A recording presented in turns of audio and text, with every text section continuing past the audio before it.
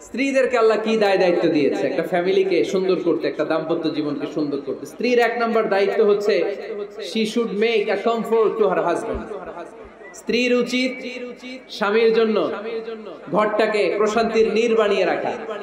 কি বানিয়ে রাখা? প্রশান্তির নীর। স্ত্রী হওয়া উচিত এমন, যাকে দেখলে স্বামীর চোখ জুড়ায়। স্বামীর প্রাণ জুড়িয়ে যায়, স্বামীর হৃদয়টা ঠান্ডা হয়ে যায়, ঠিক কিনা? আর স্ত্রীর দিকে তাকালে যদি মেজাজ গরম হয়ে যায়, মেজাজ খিটখিটে হয়ে যায়, ঝামেলা আছে না নাই? ঝামেলা আছে। এজন্য মেহরবানি করে আমাদের বোনরা যারা, এমন কোন কাজ করবেন না যেটা স্বামীর মেজাজকে খিটখিটে করে দেয়। কারণ আল্লাহ তাআলা আপনাদেরকে তৈরি করেছে, লিতাসকুনু ইলাইহা। স্বামী আপনার কাছে গেলেই যেন তার হৃদয়টা প্রশান্ত হয়ে যায়। ঠিক কি না অনেক স্ত্রী আছে, না জেনে, না বুঝে।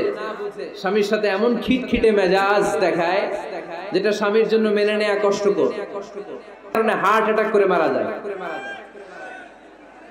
আছে না নাই? এই তো ভুক্তভোগী পাওয়া গেছে। স্বামীর জন্য একটা ত্রাস হয়ে দাঁড়ায় স্ত্রী, ত্রাস। অনেক স্বামী আছে, স্ত্রীর এরকম আচরণের কারণে অতিরিক্ত প্রেসার ক্রিয়েট করার কারণে স্ত্রীদেরকে ভয় পায়। অবশ্য নীলফামারির কোন স্বামী তার স্ত্রীরে ভয় পায় না। ভয় পায়? স্ত্রীরে ভয় পান কে কে? দেখি।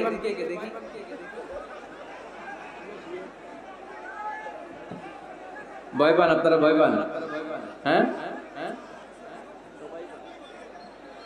এক অফিসের বড় সাহেব, তার স্ত্রীরে খুব ভয় পায় প্রচণ্ড ভয় পায়। তো সে মনে মনে ভাবলো, দেখি, আমার অফিসের যারা স্টাফ আছে ম্যানেজাররা আছে, এরা কতটুকু ভয় পায়, এরা ভয় পায় কিনা? তো একদিন সকালবেলা অফিসের সব স্টাফগুলোর একসাথে দাঁড় করায় বলতেছে, এই, আপনারা যারা যারা আপনার, আপনাদের স্ত্রীদেরকে ভয় পান, তারা ডান দিকে যান। আর যারা স্ত্রীকে ভয় পান না, এরা বাম দিকে যান। অফিসের সব কর্মচারী ডান দিকে চলে গেছে।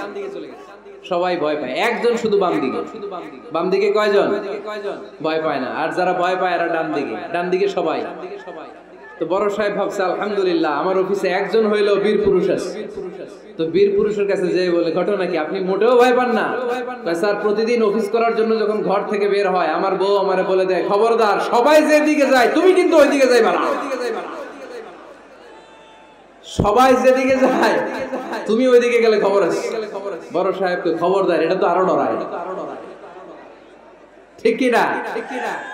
এজন্য বোনদেরকে বলব, লিতাসকুনু ইলাইহা এমন ভাবে আপনি আপনার স্বামীর সামনে নিজেকে প্রেজেন্ট করেন, যাকে আপনাকে দেখলে আপনার স্বামীর চোখ জুড়িয়ে যায়। হৃদয়টা প্রশান্ত হয়ে যায়। আপনাকে দেখলেই আপনাকে ভালোবাসতে মনে চায়, ঠিক কি না? এজন্য রব্বুল আলামিন বলেন আমি নারীদেরকে তৈরি করেছি, লিতাসকুনু ইলাইহা। যেন পুরুষেরা স্ত্রীদের সংস্পর্শ যখন পায়, পুরুষদের হৃদয়টারে প্রশান্ত করে দেয় কে? রব্বুল আলামিন বলেছেন, খাদিজার জন্য জান্নাতে আমি এমন একটা ঘর বানিয়েছি, যেই ঘরের মধ্যে কোনো বিশৃঙ্খলা নাই। খাদিজার জন্য জান্নাতে এমন একটা প্রাসাদ আমি বানিয়েছি, যেই প্রাসাদের মধ্যে কোনো আওয়াজ নাই, কোনো কোলাহল নাই, কোনো বিশৃঙ্খলা নাই। কারণ খাদিজা আমার নবীকে এমন একটা ঘর উপহার দিয়েছে, যেই ঘরের মধ্যে কোনো বিশৃঙ্খলা ছিল না, আওয়াজও ছিল না, পড়েন সুবহানাল্লাহ।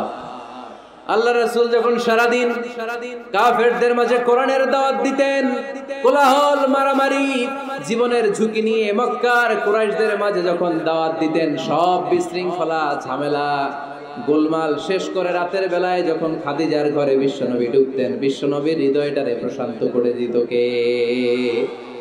আম্মাজান খাদিজা বিশ্বনবী সাল্লাহ আলহি আসাল্লামের জন্য এমন ঘর উপহার দিয়েছেন, যেই ঘরে বিশ্বনবী আসলে বিশ্বনবীর হৃদয়টা ঠান্ডা হয়ে যেত।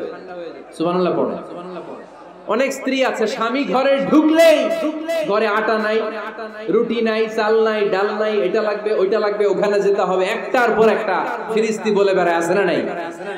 না, এটা করবেন না। আপনার কি লাগবে? এই সব দায় দায়িত্ব আল্লাহ তালা স্বামীকে দিয়েছে। স্বামীকে জানাবেন, তবে ধীরে সুস্থে। ধীরে সুস্থে স্বামীর জন্য ঘরটাকে এমন করে রাখতে হবে, যেন ঘরে ঢুকলেই স্বামীর হৃদয়টারে প্রশান্ত করে দেয়। কে? এজন্য স্ত্রীর প্রথম দায়িত্ব ঘরটারে প্রশান্তির নীর বানানো